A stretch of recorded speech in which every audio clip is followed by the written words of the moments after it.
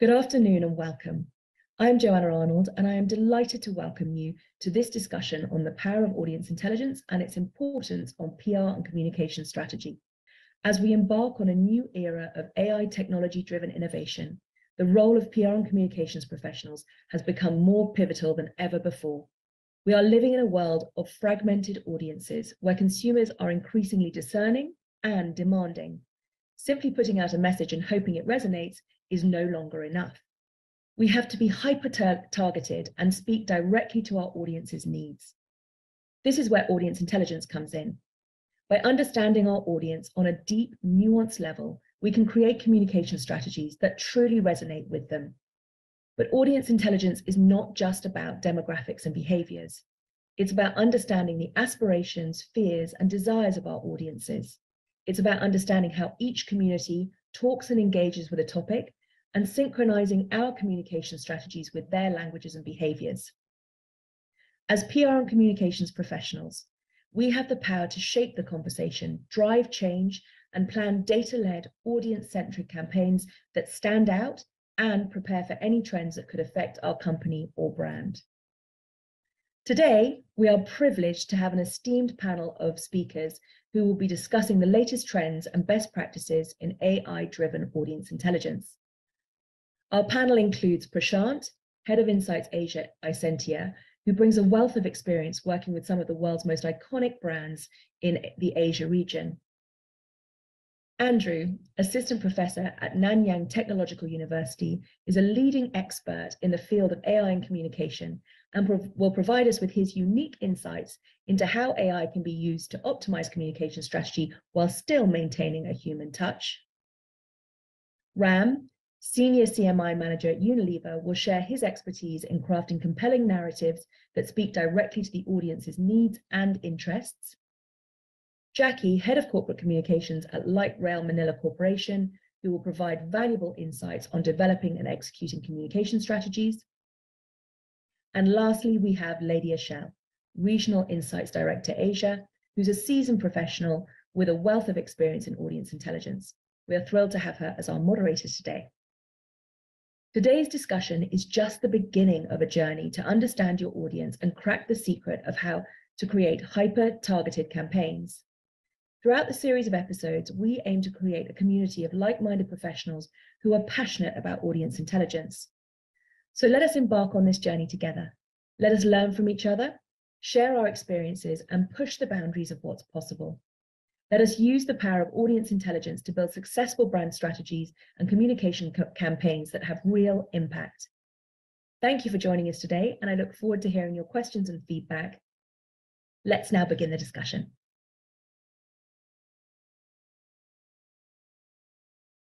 Good afternoon to all our communicators, public relations practitioners, change makers, and innovators across Asia. We are excited to have you with us this afternoon. As PR and communications professionals, we know that the media landscape is constantly evolving. We must stay on top of the latest trends to ensure our messages are heard. We must adapt and embrace new forms of media while being strategic and understanding the nuances of each platform finding the right balance between media and messages is critical at this point. We need to tailor our messages to fit the media our audience is using and creating messages that resonate with them and address their pain points. It's not enough anymore to just talk about what we want to say. We need to communicate effectively to our audience, hence, audience intelligence. Now, the media landscape has undergone a significant shift in recent years with the emergence of new mainstream media and social media apps that presents both challenges and opportunity. Social media platforms have become the new mainstream media, especially for younger audiences, while traditional media outlets are no longer the only players in the ballgame. However, this fragmentation of media also presents a unique opportunity for us to reach a wider audience TikTok, Snapchat, Instagram have arguably gone mainstream in recent years. With Gen Z as their most dominant users, we now have players like Twitch, BeReal, and Clubhouse, among many other platforms that challenge the media landscape of Asia and the rest of the world.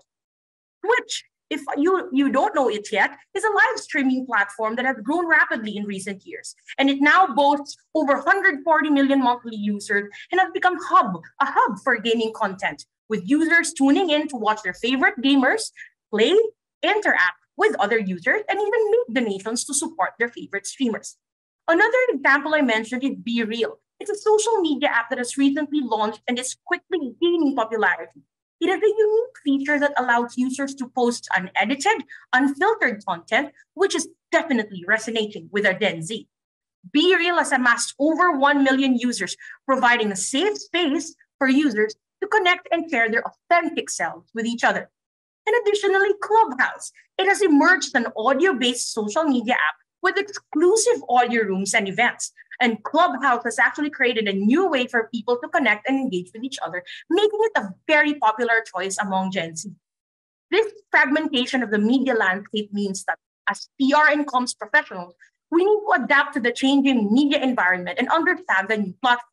We must create engaging content, build relationships with influencers and content creators who have massive following on these platforms. This requires us to be creative, take risks, and stay ahead of the curve. Now, messaging is a fundamental aspect of PR and comms. It allows us to connect with our audiences, communicate our stories, and build our brand.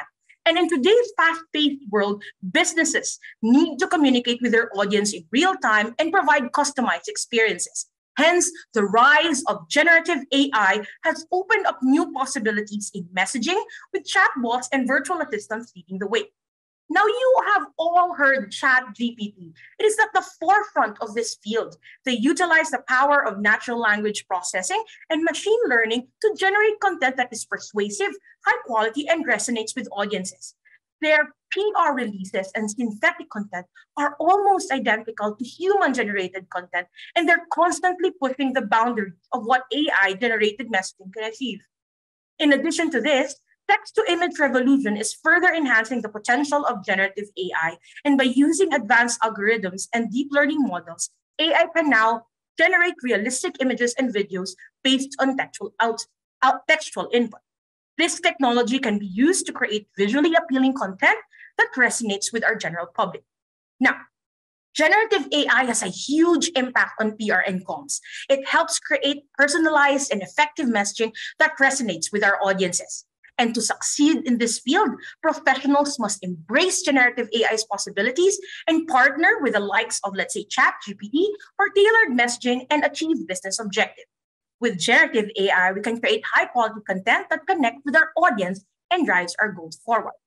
Hence, after all of this, the focus now is on your audience with the media they follow and the messages they resonate with them as of utmost uh, importance to PR professionals.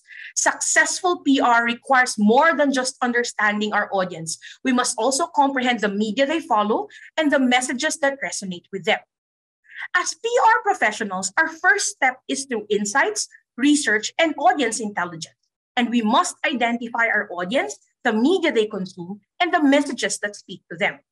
Once we have this knowledge, we can tailor our messaging to the platform that our audience uses most. And for example, younger audiences may be more active on TikTok or Instagram, while professionals may prefer LinkedIn. By adjusting our content to the platform, we can create messages that speak directly to our audience. Isentia, as part of the Access Intelligence Group, we continue to innovate and challenge our peers in the profession, and that to maintain every organization's competitive edge, audience intelligence for organizations is impactful and beneficial because this means you will be able to provide the most valuable solutions to your audience's biggest questions in formats they would like to consume. Allow us to share with you some game changers in the way audience, media, and data intelligence should be delivered and leveraged. Now, imagine how mapping trends and topics flow across social search and traditional media and uncovering its impact in shaping the perceptions of targeted audiences via own communication channels. The answer, our answer, narrative diffusion. This is a holistic measurement approach that looks at how trends and topics flow across social, Google search, and mainstream media. We first um, de- deep delve into the insights we can offer for every type of data, such as how effective are your mainstream media narrative? Did your narrative resonate with your target audience on social? Are there any potential gaps in your communications efforts? And we can identify for you. And last but not least, who resonates the most with your narrative on social? Some of the key metrics of the measurement are sentiment, key topics, top media type, and media penetration, gap analysis across, again, mainstream, social, and top advocates and detractors.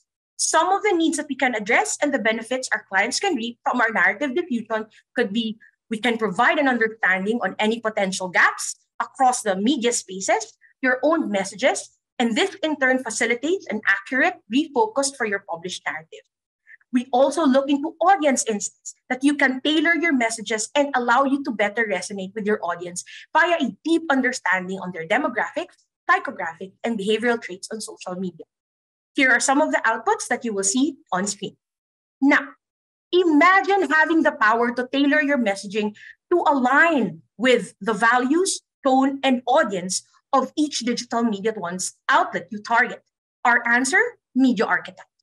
Our media archetypes analysis is designed based on the famous Swiss psychiatrist Carl Jung's theory of archetypes that details 12 universal patterns of behavior and personality that exist within the human psyche.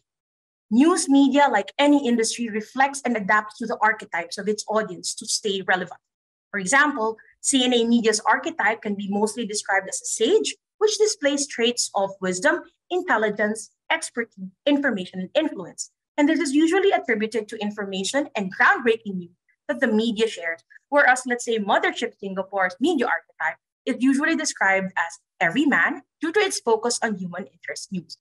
Our media archetypes methodologies will help PR professionals understand the archetypes of news media to effectively communicate specific narratives to the target audience.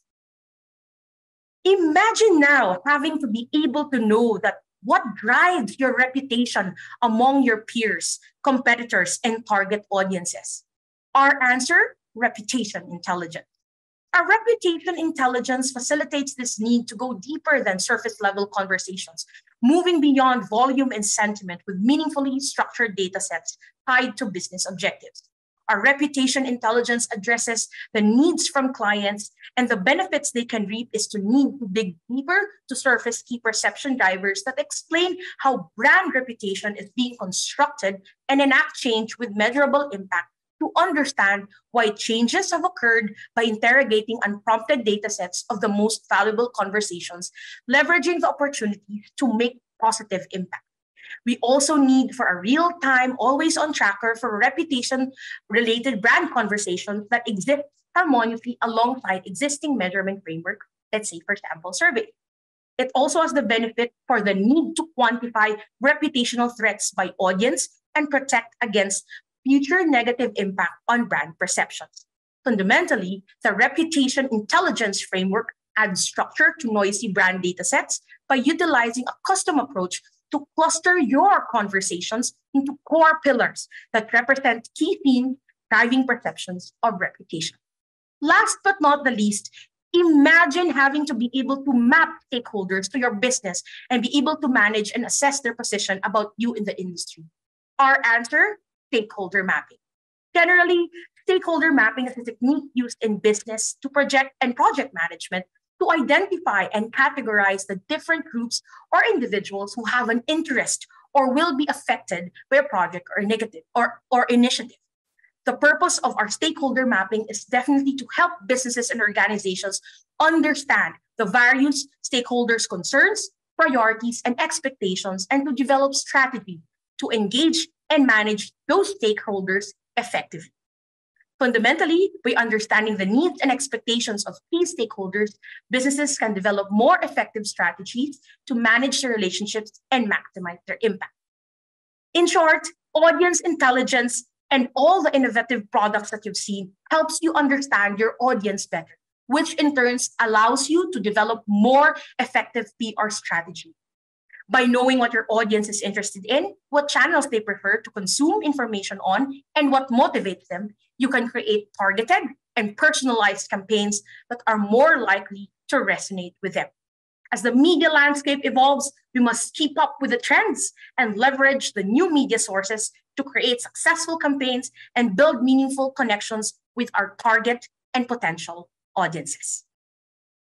Now, that's a whole lot of information for you, but we're excited this afternoon. You're in for a treat with this upcoming webinar, which promises to be an exciting and informative event. You know, the world of public relations and communications is constantly evolving, and our panel of experts this afternoon will be sharing their insights, experiences, tips even on the latest in uncovering audience intelligence. But this isn't just any ordinary webinar. As you see, our panel of speakers are some of the most respected and innovative professionals in the field. And they'll be they'll be bringing their A game to this discussion. And you in our audience here this afternoon, you have the opportunity to ask them front and center, ask the questions and take a jab and engage in our lively discussion with our, your peers. Um, so let's get ready to be engaged, inspired, and informed as this webinar is going to be a game changer for PR and comms professionals. Perhaps let's go around the table and give our panelists a chance to share a quick word or two on how excited you are for today's discussion. And let's kick off with one question, your initial thoughts on audience intelligence. Let's begin with you, Prashant. Hi, everyone. My name is Prashant. I look after insights for Asia, uh, for Isentia in the Asia region. We work with about 1,000 plus clients, helping them, consulting them with brand and reputation. I'm very excited to be part of this, and we'll talk a lot about audience intelligence, which is all about focusing on your audience, whether it's through the right mediums or through the right messages. Looking forward to be part of this panel. Thank you, Prashant. Now let's go over to Jackie. Oh, uh, Jackie, your initial thoughts on audience intelligence. Hello, good day to everyone. I am Jackie Gorospe. I am from Light Rail Manila Corporation. So we are the private operator of the first light rail system in the Philippines and in Southeast Asia. So now that uh, given the nature of our industry, wherein we are always, the public is always watching, um, you know, in terms of how we perform. So it's definitely very important that we know what our audience is saying. All right, thanks, Jackie. Now over to Ram. Ram, um, very exciting times ahead, right? So, what are your thoughts on audience intelligence? Yep, thank you, uh, Lady Ashel. Uh, hello, everyone. So my name is Ram, uh, and I work in the Consumer and Market Insights team at Unilever. Um, as a CPG uh, company, our core business is built on a foundation of understanding our consumers' needs. Uh, so both in terms of understanding what are the needs from the categories that we play in, so in terms of innovation ideas or what are some of the unmet needs that we should be doing, competitor monitoring, understanding trends in culture. Uh, there's just a whole um, array of topics where audience intelligence plays a role. Uh, and that's pretty much the foundation on which our business is built. Uh, and, I, and I think that any company's competitiveness is solely based on the data that it collects about its consumers. And I think that's where uh, we see its, its, its importance. Very insightful there, Ram, from the term itself, competitiveness. We'll discuss about competitive edge this afternoon. And over to you, uh, Andrew. Initial thoughts on, on audience intelligence. Hi, everyone. Uh, my name is Andrew Prahl. I'm an assistant professor here at the Wee Kim Wee School of Communication and Information at Nanyang Technological University here in Singapore. Uh, I do have a background, almost 10 years worked in uh, public relations and advertising, but now for the past 10 years, uh, I've been uh, obviously in academia. So I want to try and approach this at least from, from sort of a scholarly perspective. And I can say that there is hardly any uh, majorly and widely used theory of persuasion or public relations that doesn't have as a prerequisite understanding your audience, what their current attitudes, beliefs, uh, and values are. That's essentially the first part of many uh, models uh, that we typically use when we study uh, public relations and, and persuasion. Um, so any way we can do that better is great. And also just on AI, always excited to talk about AI. That's my research area. All right. So glad to have that energy with us, um, Andrew. Perhaps we'll look into uh, the first a series of questions that we'd like to discuss for, for, for you, our experts here, and also our audience is understanding really your target audiences or the target audiences of your organizations. We'll probably need to ask the question what is audience intelligence and why is it now a must know and not just a nice to have for organizations, especially in the age of AI? I'll begin with you, Prashant. Thanks, Achal. So audience is not a new term, right? And consumers, audiences, tribes, groups, communities, it's not new. But it's coming back into the forefront because of just the sort of burst that we have seen in messages and mediums. So what you were talking about before in the starting part of the webinar, it's all about that how mediums are getting fragmented. Uh, you would see mediums also changing their role, especially after Twitter's acquisition. You would see that various mediums are trying to align back to the audiences and the relationship between audiences and medium is changing. You throw in Web3, decentralized media, and then the whole gamut and the game changes because it starts to get decentralized, content starts to get owned by the creator itself. So mediums are changing. Now let's mix in generative AI with it. And you would see that there's a burst of synthetic content, which is all your text to images, text to videos, text to text. And you would see that there is a sort of an explosion in terms of how messages have come about. And we as marketeers, communicators, are also trying to understand that how do we use the messages to not just have a sort of a blinding or a deafening eye to it, but it's more around that how do we really tailor those messages back to our audience. So mediums are expanding, messages are becoming synthetic, and both are going on. And hence, we need to cut through this clutter to go back to the audiences we care about, the communities within these audiences, and then go back to square one to really have a proper communication with the audiences. Thank you, Prashant. That was a, a, a, lot to unpack. And I'm sure uh, our audiences are learning so much from um, audience intelligence early in this discussion. Probably I'll, I'll, I'll, touch base with Andrew coming from the from the um, academic side of, of, of things uh, uh, vis-a-vis uh, the rest of the practitioners practitioners here. Why do you think, Andrew, is it now a must-know for um, students in the academy and young professionals, and not just a nice to have for organization? Audience intelligence in the age of AI, per. Great. Well, there's a couple angles uh, I'll take on this. So the, the, first one, just in terms of why should young professionals, or I think any professional, be really proficient and know as much as they can about their audience. Well, the first thing is that, and I'm sure we'll touch on this later today, and you touched on it in your in your in your introduction, that new AI tools give us the ability to personalize messages even more than before. You know, even down to the individual level. Um, and so, as a result, the more that you know about people, uh, the better off you're going to be. So, obviously, uh, audience business intelligence is going to be important in that endeavor but kind of looking a little bit more forward which is one of the one of the kind of benefits of of being a researcher I think that that one risk uh, that a lot of uh, companies and organizations are not understanding right now is that AI is not only a producer of content; it is going to be a consumer of content. In other words, AI is part of the audience of your message. There's a lot of like influencers who are quite open about how they've how they've actually automated a large part about what they do, their social media postings and whatnot. So being able, I think, going forward, in order to separate, to know, okay, what is it that that humans uh, are consuming and what narratives are they spreading? And which ones are actually being sort of picked up by essentially bots out there and being spread by bots? Because those messages and those narratives could be different. Being able to discern those two i think is very important. And obviously audience intelligence could help in that. Um, so that's kind of you know trying to trying to trying to look forward a little bit. I, i'm curious to see what anybody else thinks of that but uh, that's a future i think that is very possible Oh, thank you for that, Andrew. Now, I'll probably touch base with Jackie because she's leading a, a really uh, big organization here in the Philippines. So, Jackie, how, coming from uh, Prashant and Andrew's points, how has your organization actually integrated audience intelligence into your PR strategy? And perhaps another question would be what specific outcomes have been achieved or at least aiming to achieve at this point?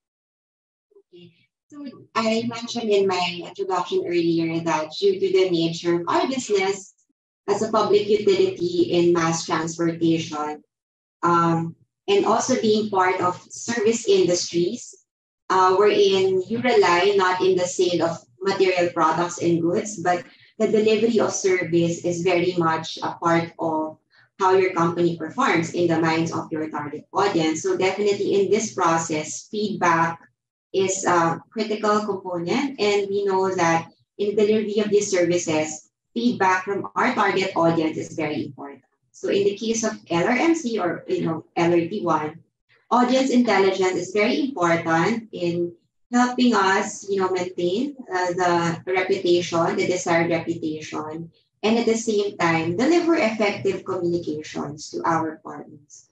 In support of our business objectives. Because at the end of the day, we are a private operator, we are a business organization. So we need to make sure that our communications will be effective. And in our case, um, one, in terms of crisis, it helps us monitor how you know things develop and uh, perhaps take a preventive approach so that we ensure a positive reputation for our company. Second, on the marketing side of things, uh, when we are able to study how our audience is responding to the stories, to the content that we put out there, it helps understand how what else we can do. Uh, number one, see what is the outcome of the content uh, that we are pushing, the media partners that we are engaging. At the same time, spot promising spaces for our company in the same way that are there new social media channels where we should be present or do more of you know activities? Number two are there certain topics and interests that our audience the lrt1 passengers and commuters are finding um, more interesting aside from the basic news of providing lrt1 service advisory? So things like that. It helps us uh, become more um, impact driven and uh, you know be also more outcome oriented rather than just output no? Keep doing things but the end of the day you really don't know if you are being effective at what you do. Uh, that's really very insightful. I think that what i picked up from what jackie mentioned is the word impact. And all PR professionals and communicators in general, we aspire to provide impact to our target audiences and even to our stakeholders. Ram, on your experience as part of a big organization such as Unilever, how does the organization balance, let's say, the use of AI generated insights with the need for human expertise and creativity in your, um, if, if not PR, marketing, or even communication efforts in general? Um, I think um, uh, the way we've always, I think, thought of AI is, is, is almost like augmented intelligence. So it kind of augments human intelligence, um, and uh, that's the way we see it. So, so it's an amplifier for human creativity and for human insights, etc. Um, what it definitely does is improve the processes in terms of efficiency. Um, it is getting much better also in terms of effectiveness. But I think in terms of making sure that the right kind of content is being created, the kind right kind of insights have been identified, there is still a very much of a human angle that's that's needed. Um, uh, Prashant did mention about you know the fragmentation of media. Uh, one result of that is just the proliferation and the amount of content you know brands need to put out today. Um, I think I was reading a, a, research paper from a while. Back, this was nearly two years ago, where they were saying that on an average for a new innovation today, it requires 30,000 pieces of content for it to you know see through and land on different platforms and different you know uh, mediums etc now we will never be able to create that kind of content you know just with you know humans. And therefore there is a process uh, and, and efficiency that can be driven with ai uh, but then making sure that, that we are guard railing the process in a way that it is impactful that it's tapping into the right uh, audience needs and the, and the right kind of tensions that have been identified that's where the human intelligence has to come in. And i think it's a yeah and the way we have to always think about it is as augmented intelligence. So it's augmenting human intelligence and it's not replacing it. Um, that's actually a, a, a, spot on ram. Prashant probably to to leverage on what um, ram mentioned as us here in Isentia, right? Who do you who who do you think should be an organization's target audience and what should be the characteristics and behaviors? Yeah i would look at it as uh, sort of three concentric circles, one within each other. So your core part becomes your current targets or current consumers. Um, the second one becomes more of um, lapses. People used to try, but have for some reason are not trying your brand or not or not taking your services. And the third one is essentially the prospective customers, the big wide world out there and how your brand really goes back and relates to them. So coming back to the whole point around AI and audience intelligence, you can really use AI in two different manners, I would say. So let's talk about the pre-DALL-E, pre-ChatGPT days. This was all about interpretive AI, right? So you look at the large volumes of data, uh, whether it's text, image, video, speech, and then you can really extract entities, you can really extract what people are talking about, and really understand data at large scales. That's what was the genesis of data science. Now, post DALL-E, DALL-E, the product from OpenAI, post DALL-E, it has become more generative in nature. So now it's not that interpretive has gone away, it's still there. You can still understand large volumes of data for these three concentric circles, your consumers, lapsers, prospectives. But you can also tailor your messages to Andrew's point before. You can hyper personalize it. So it's not just about insights sitting in a report with large data sets, but it's also actions that can now be taken, which was in a wish list. Personalization was kind of a word that would sit in a recommendation, but then when it comes to activation, it's tough, it's hard. Agreed. With generative AI, you can do that because it's all about that. Even if you look at, uh, if you guys are watching this trend of Wes Anderson, the famous uh, filmmaker, right? And then everybody is looking at it from a different perspective. Wes Anderson from Ministry of Health, Wes Anderson from this consumer.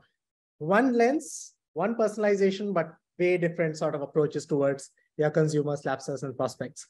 So there's a lot exciting world going out there, and interpretive AI and generative AI will work together for that age of personalization.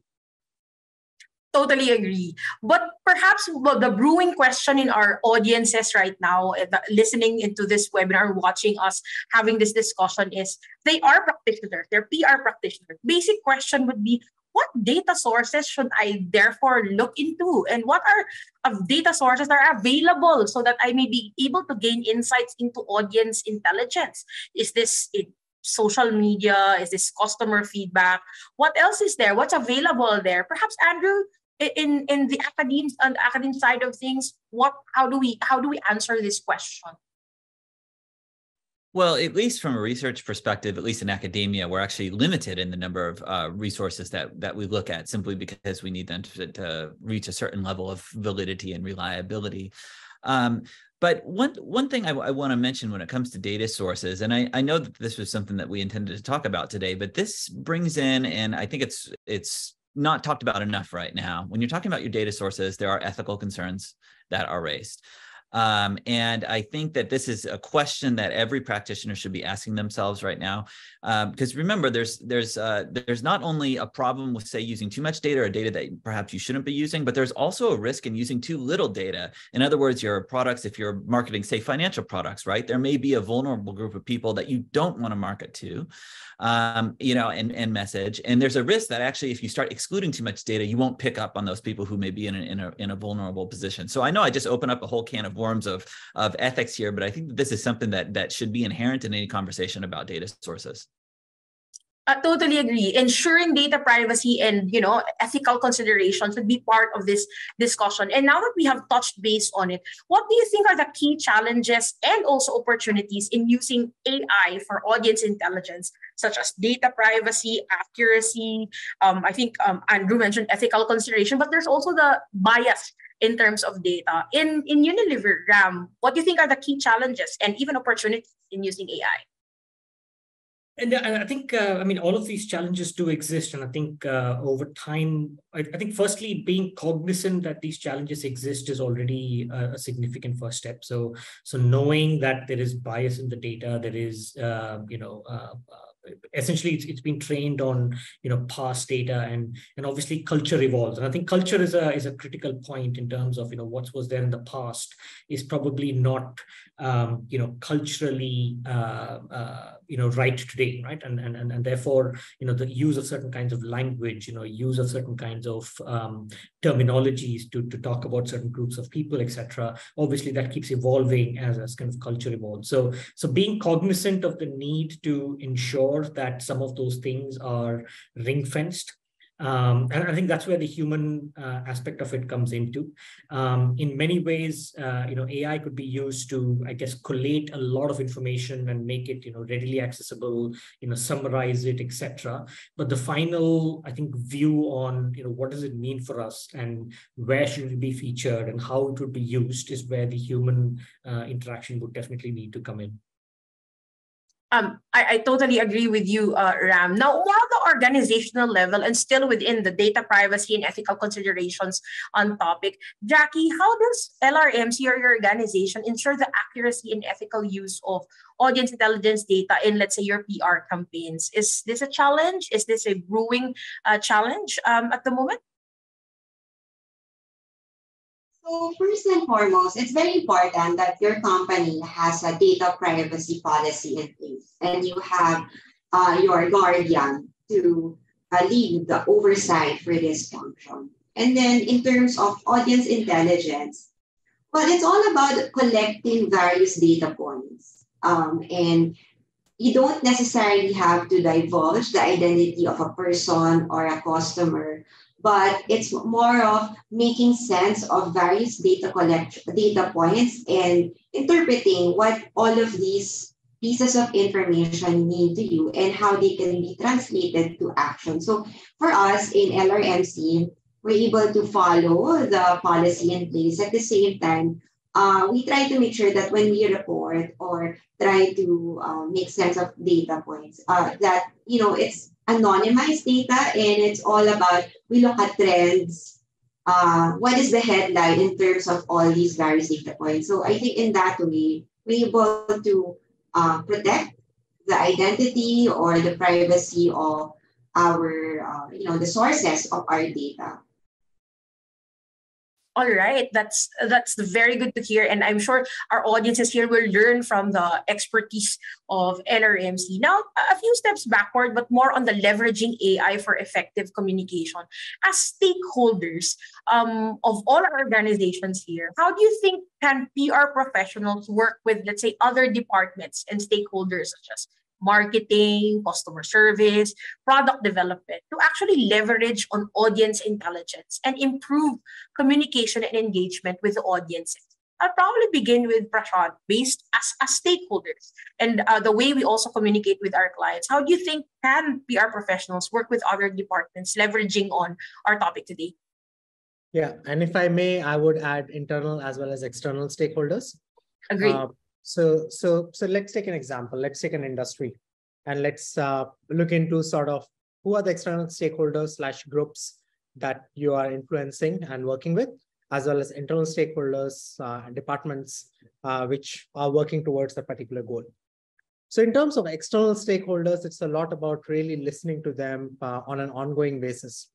And what you can do is you can use different kinds of tools available out there to really listen to what they have been saying not just in terms of what they're tweeting and what they are talking about, but what's the overarching narrative that that particular stakeholder group is talking about. For example, if you look at something like an oil and gas, there are different sides of the coin, right? One is the whole ESG uh, conversation, but there's also conversation about small businesses and how we need to sort of speed things up in climate change or sort of take a step back to cater to different kinds of stakeholder groups that we are talking about. So from that perspective, it's a lot about how those narratives are evolving in stakeholder groups and really how can an organization manage it. And it's especially challenging for organizations that are in the middle of very controversial uh, topics. AI being another controversial topic, right? As in, is it going to take away our jobs or is it going to make us the next Iron Man?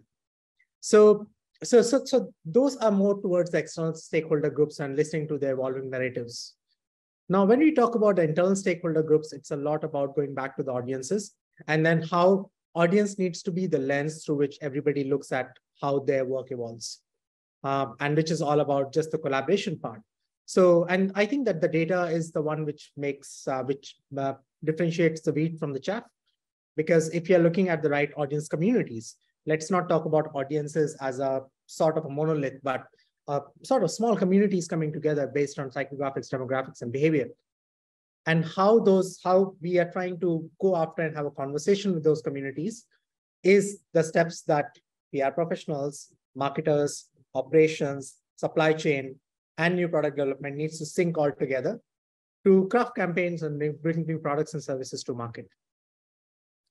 Awesome. Ram, you also work with different departments, most likely for a big company like uh, Unilever. Any thoughts on, on this on this topic? Yeah, I, I think uh, you know. Finally, the the the the thing that is external facing from any organization or you know like like so a company like Unilever and brands is essentially its communication, right? So the advertising that we put out, the content that we put out, that's what is then actually consumer facing. Everything else is internal. So, you know, when we test, you know, early innovation ideas, for example, it's still a very internal conversation. When we are looking at supply chain and we're looking at some of the other considerations, it's all very internal. Uh, but the reality and, and the rubber hits the road when, you know, you actually put a piece of content out there. Um, and therefore, everything that you've done I don't know, for however long that innovation journey was, you know, sometimes it's 12 months from idea to actual, you know, creating the product to actually launch.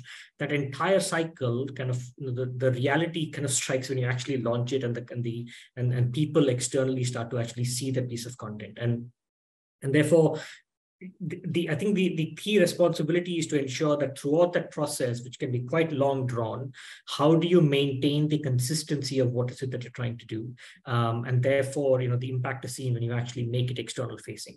Um, and, and in many times, you know, it's almost like, like I sometimes think about, you know, the amount of effort that goes in to just create a 15 second ad, because finally what someone sees is a 15 second ad on, you know, YouTube or, or wherever they see but there's probably a 12 month journey and uh, you know uh, resources that have gone into just you know creating that. So so so to make that 15 second ad effective you know you need to have kind of ring fenced your entire journey um, so that the final you know output is in line with what you're trying to achieve I'm picking up from Ram's brain here. Another word is consistency. You know, we mentioned earlier impact and consistency. And coming from from those terms, we want to touch base um as we as we know as we go along this uh, panel discussion measurements right? PR practitioners, communicators, at the end of the day, we want to measure how effective our campaigns are, how effective our, our projects are. And this is very much uh, very happening in, in all our organizations. Perhaps, um, Andrew, on an academic level or even a post-academic level,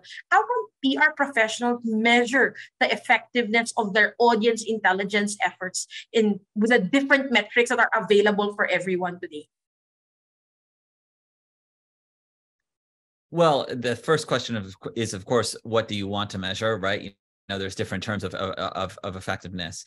Now, uh, I, I can speak actually a little bit for our organization right here in terms how, of how we measure our effectiveness in terms of what we do uh, as, an, as an educational institution.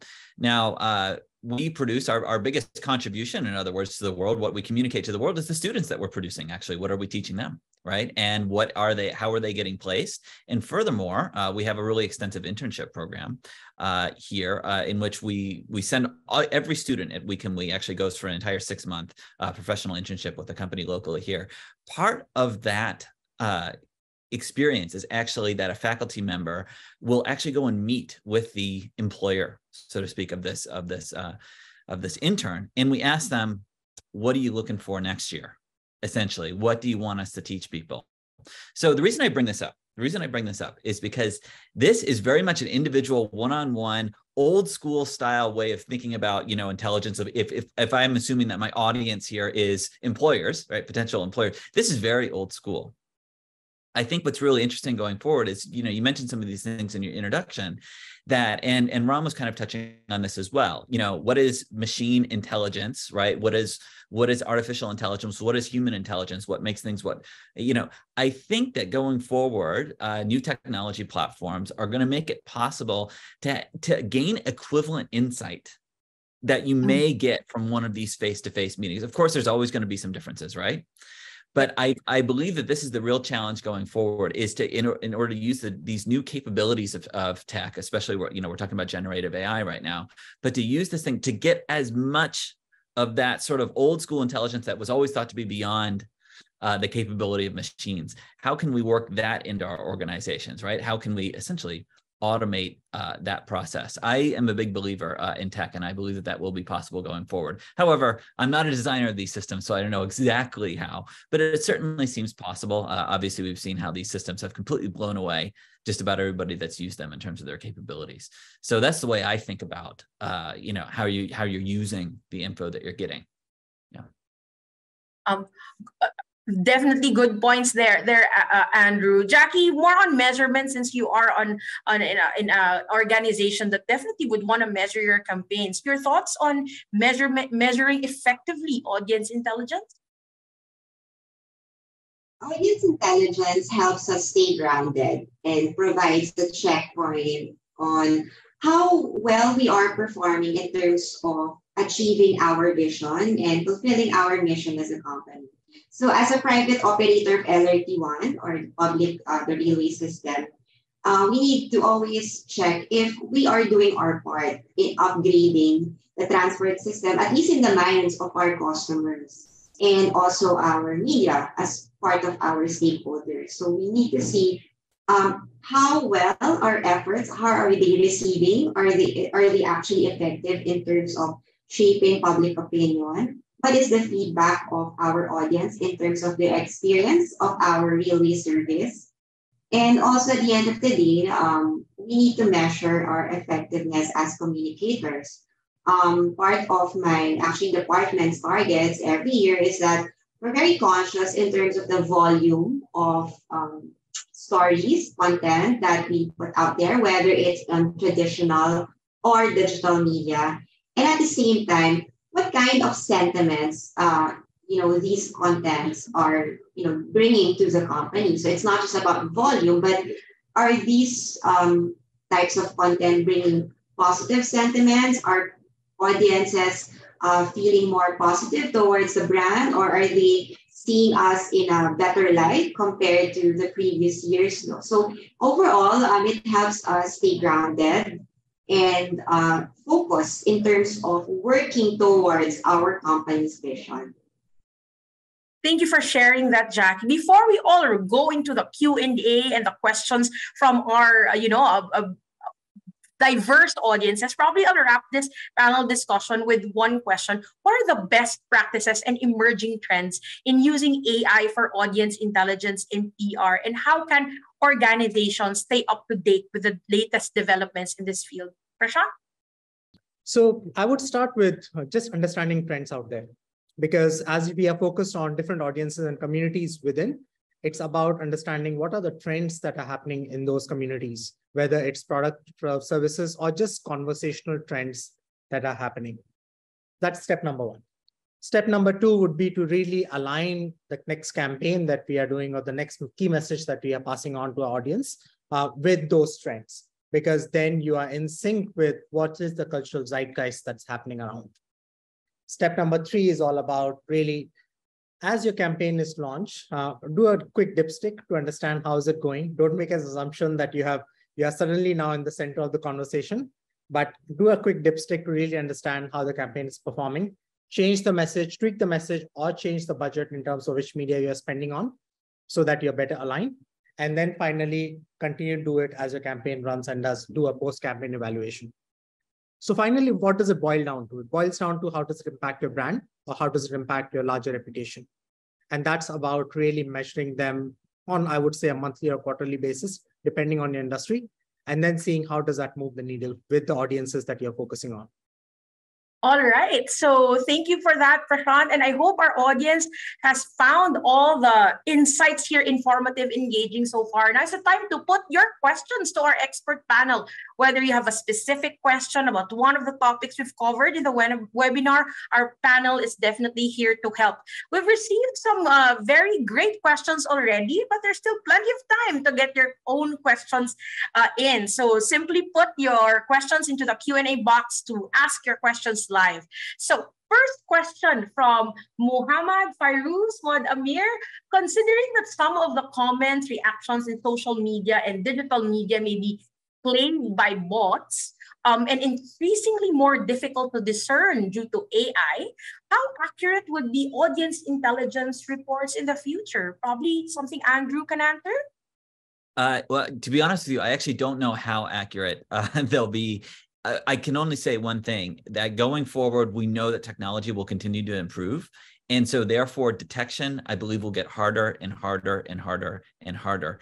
Even right now, something a very simple uh, objective in terms of detecting if a student, for example, has used ChatGPT in order to write their paper. We're talking about AI plagiarism.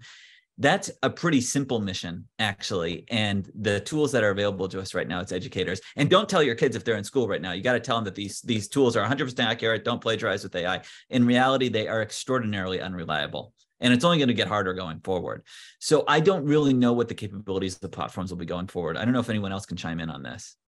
No, no, I think it's it's very much in line with what Andrew was saying, and and I think that's where the the uh, you know the challenge comes back to the the processes in place in the organization to make sure that we are able to uh, and, and, I know who used the term I think it was Prashant who said you know separate the wheat from the chaff right? So uh, you, you, we need to be able to make sure that the processes that we have in place are able to weed out some of these challenges um, there is a narrative and an increasing trend of diverse voices. So there will be the diversity we will see in, in opinions and uh, you know thoughts and, and and and what people are saying.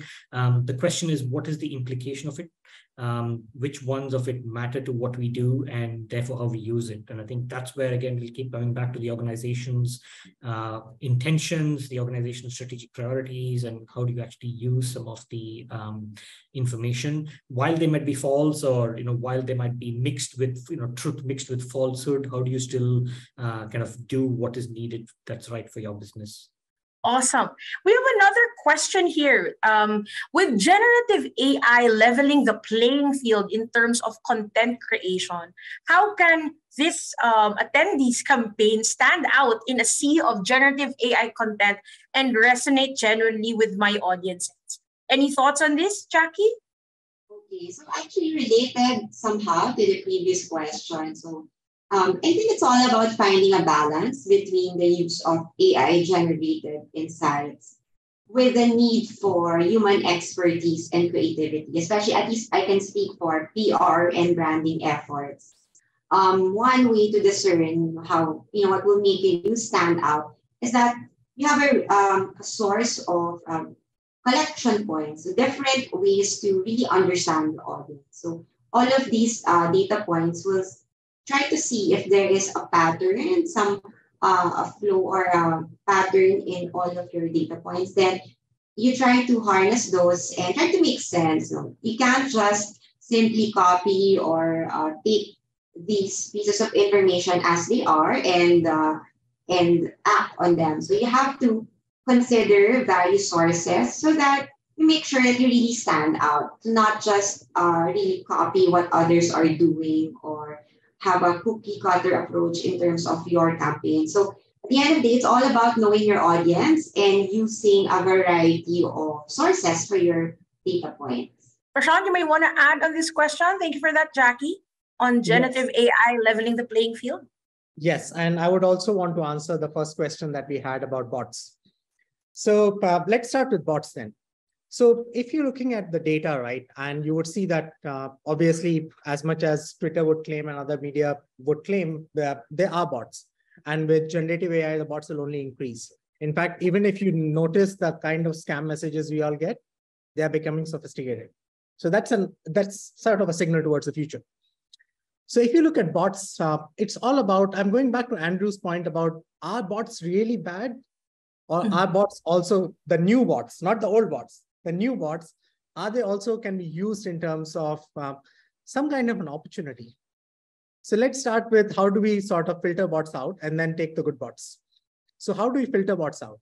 If you look at social media, the most engaged, whether most liked, uh, commented, or shared comments uh, or the posts are the ones that do not are not seeded by bots, at least the bad bots or the bots that are long tail. Bots also don't end up uh, being in an echo chamber of a lot of communication coming together. Think of them as a network. They don't tend to form a network if there's a serious conversation going on. If they're just spamming, then yes, they would form a network. Now let's talk about the good bots. So let's say, uh, building on what Andrew said, let's say that we end up getting bots from brands. And these bots are sort of a, a alter ego of a brand. Think of Wendy's, think of McDonald's, but on steroids. So think of how uh, sort of sarcastic Wendy zips and then 10 10x it. Now, if that is a bot and that's claimed to be a bot, and bot becomes this kind of a clippy, um, you know, we all smile, ChatGPT is a clippy, right? But there is a nostalgia to it, there's a brand to it. So if you think of these bots as the ones that are sort of having a humorous take and a personality of itself, then probably there's something out there in terms of not just taking them out, but they becoming a form of it. Because in the physical form, these bots are going to be sort of our helpers in future. Think uh, of Tesla's Optimus and all the other ones that are coming from Boston Scientific. So I think Agreed. there's an opportunity in looking at a bot, but the bot that really helps. The second one would be, I'll make it very quick, just in the interest of time. Generative AI doing a level playing field in content creation. It's all about personalization. So again, going back to the points on the, what panelists said, it's all about hyper personalized campaigns that will really go in. So if you don't like a movie, let's say the Quantumania bombed, the next 10 Quantumanias will be made by the fans. And the, there will be a level playing field on the content because we all can use our creativity now with the franchises that Sure. we love. Awesome. We have several, actually, many, many questions coming in. We'd love to answer them all, but in the interest of time, we'll definitely just uh, ask as much questions as we can, right? One question here says What are the limitations of using generative AI for audience intelligence and how can they be addressed? Your thoughts on this, Andrew? Well, every time I talk about generative AI, I feel like the timeline on my comments is about 24 hours because tomorrow there's going to be some new tech that comes out and does something that I say right now it can't do. So I'll just be relatively general here, and I'll actually just return to the idea of basically machine or algorithmic intelligence versus human intelligence. And I, this is something that we talk about a lot uh, in my field. Uh, and there's there's people who've dedicated their entire careers in order to try and figure this out. I oftentimes think back to my days when I was working in advertising and I worked for a car, uh, car brand, a major uh, car brand, one that isn't sold here in, in Singapore, oddly enough. Um, we talked about, well, what is it? What, what makes somebody buy a car, right? So if we think about that there's lists of features there's things like horsepower there's efficiency how many you know uh, miles or kilometers you know per liter of petrol does it get these are the types of insights that's very easy for machines, including generative AI, in order to understand. It's very easy to, for them to produce content that is consistent with somewhat of objective information like this. However, let's think about something that's also very important to humans autonomy, right? There's something about having a car and the type of car that you have enables you to do different things. For example, you have a car in Malaysia. Is it capable of getting you to the trailhead in the Cameron Highlands, a notoriously bad road that's eaten up many, you know, tiny compact front wheel drive cars, right? And I know this because I've been up there. I've seen plenty of cars stuck, right? It's not only about having a car, obviously, which afford you some autonomy. It's the type of car, it's the features that it has. How many kids can you carry around? How many cup holders does it have? Simple things like this. Now, it's simple for us, but that is almost impossible for a machine, including, I would argue, generative AI, in order to understand and produce quality content on. It doesn't understand the human need for autonomy beyond just in a mathematical sense. People like to be able to travel far from their homes, for example, or get to work in a less amount of time. So I think that's the way to think about generative AI is more in terms of a general class of technology and what sort of intelligence it has and what sort of content it's good at producing. Thanks for that, Andrew. That's a lot to unpack again on limitations of using generative AI. I know we we have a lot of questions and we don't have much time, but any member of our panel would like to answer that question as part of our wrap up limitations and how can these be addressed based uh, anyone else? Ram, want to add on to the discussion on limitations? Yeah, no, so so so definitely what Andrew touched on is the element of I, I, guess the the nuances that that generative AI is not able to touch into. But I think the, one of the other key aspects as well is it's still very much dependent on the prompting. And if I you know take ChatGPT as example, the output you get is only as good as the prompt you you input.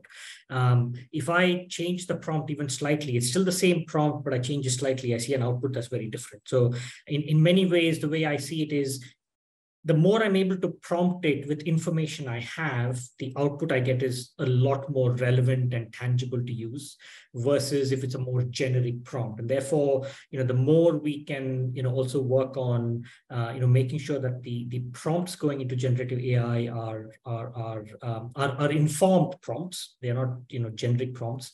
You know, the output is going to be that much more helpful uh, and and useful uh, as well. Thanks for that. Probably just one more, last, last, one more question. And this is very impactful for our audience here. This question goes Will communicators like us eventually lose human emotions if it's AI who's going to do bulk of the work? That's our last question for the day. Probably, Prashant, you want to answer that first? Yeah, I'll give a short answer so that other panelists can chime in. Uh, yes and no. Uh, the ones who will lose the emotions would be the ones who will be giving uh, quite blah ChatGPT prompt or some kind of generative AI prompts back to uh, Ram's point, because they will be ask, asking some obvious things and they'll get some obvious things back and there'll be a sameness of content. The ones who will have the emotions will stick back to the audiences and use AI with the right prompts, etc., to go really creative. Awesome. Um, Jackie? Um, definitely not, because we know that with people, at the end of the day, human interactions will still be very important. And your um, audience intelligence um, is just meant to make you more effective and not actually replace that. So it, it's supposed to make you more intelligent in dealing with your audience and also help you become more strategic. At the end of the day, you know, what you see is also as important as how you see it. So um, both ways, the content and the delivery. So definitely, um, you know, how you see it, the content is that also important and the human emotions should not be taken out of the equation. Thanks, Jackie. Probably Ram, before I go to Andrew, just quick, quick answers. Are we as communicators going to lose our human emotions with audience intelligence and AI?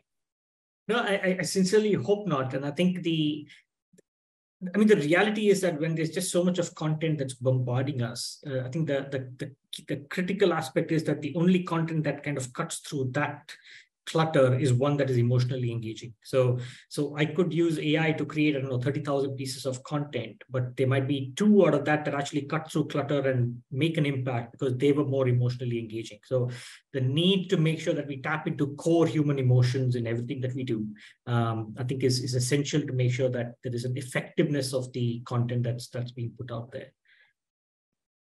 Thanks, Ram. Now, last but not the least, Andrew, are we going to lose our energy, uh, such as in this webinar? No, I, I do not believe uh, that's partially what defines the human experience is the emotions that we have and what one of the things that separates us from machines, for example. Um, but there's actually something that we can talk about that would be research based here just to kind of finish it off. And I think that this is a concern that all organizations should have as they start to use AI or any sort of uh, new automated tools. Uh, and that is that there's a wealth of research in a variety of industries that shows that there is skill degradation uh, in when certain technologies are implemented. A really good example of this, and one that I've written about before, is in aviation. For example, there's a fair amount of pilots right now that have lost that real kind of they call it stick and rudder ability to fly the plane in difficult conditions they over rely on automation this is not a secret to anybody there's tons of articles about there out there about this so the question now becomes actually, it's not how we're going to lose our emotions. Is it, do we risk losing our emotional intelligence if we actually say interact with machines too much, or we're using those machines in order to understand other human beings? I think that there is a risk of this, but I kind of want to end it on a positive note. And that is, you know, even if you ask somebody, a futurist, and you say, look 30 years into the future, what is the one thing machines will not be able to do? And they always say they will never understand our emotions, right? Machines are, are rational. They can't understand why somebody on a diet who's full uh, who is is doesn't have a lot of time walks past a new restaurant they see a promo and they just say i'm going to try it you know what I mean? They could never explain that sort of impulse, right? These random, unpredictable things that humans do, which are driven largely by emotion. So I think that even if uh, perhaps we lose a bit of our emotional intelligence, it will always come back to humans to understand other human emotions. So we'll always have that. So uh, I hope everyone keeps their energy high. Awesome. What a way to recap and wrap up this entire webinar. So to our audiences there, thank you for your questions. And as we've learned today, AI is transforming the way PR and communications professionals gather, analyze, and leverage on audience data. We've heard about our um, we've heard about ethical considerations from our speakers, how to leverage on content, leverage on our communication efforts, and definitely not losing this energy and human touch and human intelligence. We hope these insights will help you uh, gain deeper understanding of your audiences and create more effective campaigns. Now, now, um, we'll be launching a poll for our audiences and a poll survey um, so that we'll be able to, you know, do this better in the future. We will, you will also uh, see um, a QR code on your screens as we promote our second episode um, on this webinar series from Isentia. And uh, our audiences um, who are here today, please, please join us on the second leg of this webinar series. This is a three-part series and you will definitely get certificates of attendance and participation for those of us who will join for the entire series. Again, thank you to our speakers, our panelists, our, the, the, our awesome panelists, Jackie, Andrew, Ram, and of course, Prashant. And Thank you for uh, trusting Isentia in this uh, webinar series. We hope to see you again. The replay of this webinar will be available to all of you shortly. And let's continue to learn and adapt our strategies to stay ahead of the curve in the ever-evolving PR and communication industry with audience intelligence in the age of AI. Thank you, everyone, and good afternoon. Thank you. Thank you.